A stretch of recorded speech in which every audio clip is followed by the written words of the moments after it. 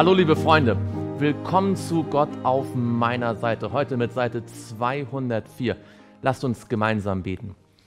Lieber Vater im Himmel, wir möchten dir von ganzem Herzen Dank sagen, dass du persönlich zu uns sprechen möchtest und dass wir eine direkte Verbindung zu dir haben können, dass du uns zeigst, wie sehr du uns lieb hast und dass du auch jetzt durch dein Wort zu unserem Herzen sprechen möchtest. Dafür danken wir dir im Namen Jesu.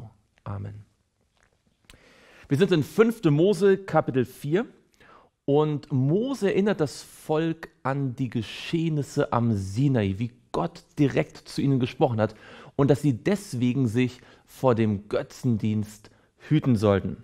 In Vers 16 heißt es, damit ihr nicht verderblich handelt und euch ein Bildnis macht in der Gestalt irgendeines Götzenbildes, das Abbild eines männlichen oder weiblichen Wesens, das Abbild irgendeines Tieres, das auf Erden ist, das Abbild irgendeines Vogels, der im Himmel fliegt, das Abbild irgendeines Wesens, das auf dem Erdboden kriecht, das Abbild irgendeines Fisches, der im Wasser ist, tiefer als die Erdoberfläche, dass du deine Augen auch nicht zum Himmel hebst und die Sonne und den Mond und die Sterne und das ganze Heer des Himmels anschaust und dich verführen lässt, sie anzubeten und ihnen zu dienen, die doch der Herr, dein Gott, allen Völkern unter dem ganzen Himmel zugeteilt hat. Gott hat die Schöpfung geschaffen, dass sie uns auch dient für die Menschheit, aber nicht um angebetet zu werden. Euch aber hat der Herr genommen und herausgeführt aus dem Eisenschmelzofen aus Ägypten, damit ihr sein Eigentumsvolk sein solltet, wie es heute der Fall ist. Gott erlöst uns, damit wir zu ihm gehören, dass wir sein Eigentum sind. Und der Herr war um euretwillen so zornig über mich, dass er schwor, ich sollte nicht über den Jordan gehen, noch in das gute Land kommen, das der Herr, dein Gott, dir als Erbe gibt, sondern ich muss in diesem Land sterben und darf nicht über den Jordan gehen. Ihr aber dürft hinübergehen und jenes gute Land in Besitz nehmen. Gott wusste, dass es den Israeliten schaden würde, wenn Mose sie bis in das gelobte Land geführt hätte. Denn nach seiner Sünde an dem Felsen, hätten sie geglaubt, dass tatsächlich er es gewesen wäre, der sie geführt hatte. Und obwohl Gott Mose so sehr liebte, war ihm das Volk und das Wohlergehen des Volkes so wichtig, dass er diese wichtige Entscheidung, diese für Mose so schmerzhafte Entscheidung durchziehen musste, dass Mose noch vor dem Jordan sterben musste. So hütet euch nun, dass ihr den Bund des Herrn eures Gottes nicht vergesst, den er mit euch gemacht hat und euch nicht ein Bildnis macht von irgendeiner Gestalt, was der Herr, dein Gott, dir verboten hat. Wir sollten uns daran erinnern, dass wir den Bund, den Gott mit uns geschlossen hat, dass wir diesen Bund nicht vergessen und nicht aufgeben. Denn der Herr, dein Gott, ist ein verzehrendes Feuer, ein eifersüchtiger Gott. Er ist die Liebe und die Liebe ist ein verzehrendes Feuer. Gottes Herrlichkeit ist ein verzehrendes Feuer. Ihr könnt entsprechende Bibelstellen zum Beispiel in Hohelied Kapitel 8, Vers 6 finden.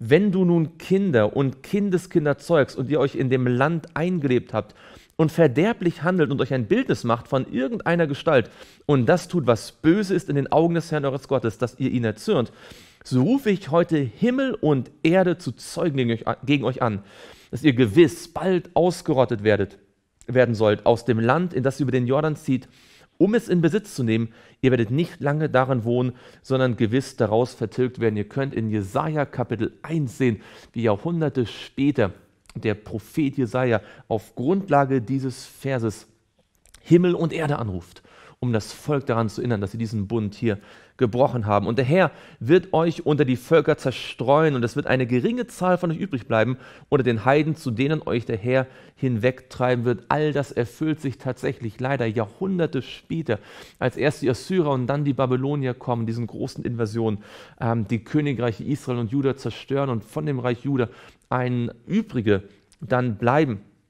Und äh, das Volk in die Zerstreuung geht und dann heißt es hier, dort werdet ihr den Göttern dienen, die das Werk von Menschenhänden sind, Holz und Stein, die weder sehen noch hören noch essen noch riechen.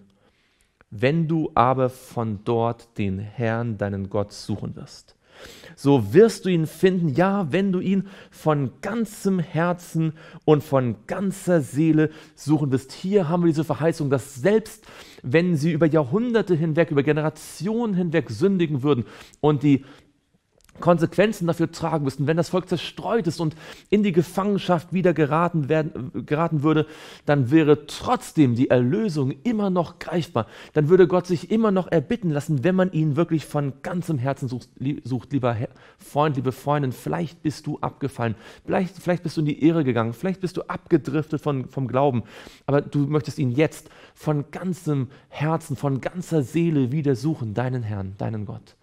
Dann darfst du wissen, er wird sich finden lassen. Hier haben wir diese wunderbare Verheißung.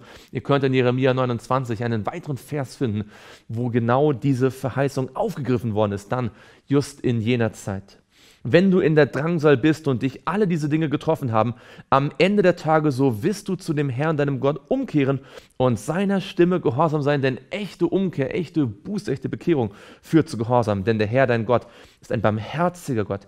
Er wird dich nicht verlassen, noch verderben. Er wird auch den Bund, den er deinen Vätern geschworen hat, nicht vergessen. Menschen mögen den Bund mit Gott vergessen, aber Gott vergisst ihn nicht. Und selbst wenn wir ihn verlassen haben, wird er uns doch nicht verlassen. Wenn wir zu ihm zurückkehren, ist er immer barmherzig und gnädig und möchte uns vergeben. Denn frage doch nach den früheren Tagen, die vor dir gewesen sind, von dem Tag an, als Gott den Menschen auf Erden erschuf und von einem Ende des Himmels bis zum anderen Ende des Himmels, ob je etwas so Großes geschehen oder je dergleichen gehört worden ist. Die Israeliten sollten sich fragen, ob in der ganzen Weltgeschichte, und zwar seit den Anfängen des Menschengedenkens, auf der ganzen Erde, ob jemals so etwas passiert ist, was sie mit Gott erlebt haben. Wir sollten die Erfahrungen, die wir mit Gott gemacht haben, nicht gering schätzen. Es sind besondere Erfahrungen, die nicht von anderen so äh, überall gleich, äh, gleich erlebt worden sind. Wenn Gott mit uns etwas ähm, wenn Gott uns führt, wenn Gott uns Erfahrungen schenkt, dann sind das besondere Dinge. Und die Israeliten hatten außergewöhnliche Dinge erlebt.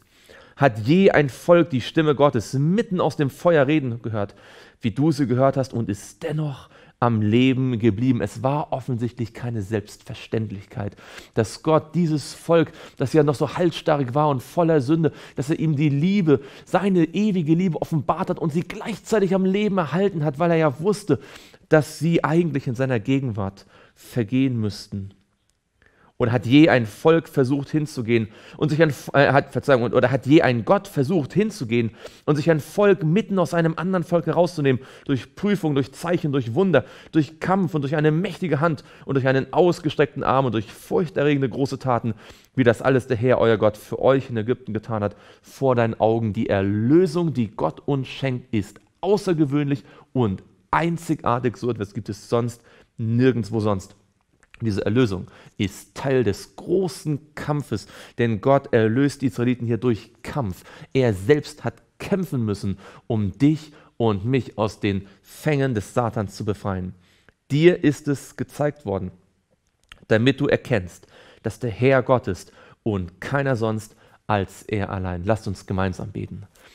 Lieber Vater im Himmel, hab Dank für die Zusicherung, dass egal, wenn, selbst wenn wir weit von dir abgedriftet sind, dass wenn wir dir wieder uns zuwenden, wenn wir dich suchen mit unserem ganzen Herzen, von ganzer Seele, dass du dich finden lässt und dass du gnädig und barmherzig bist und dass du uns rettest.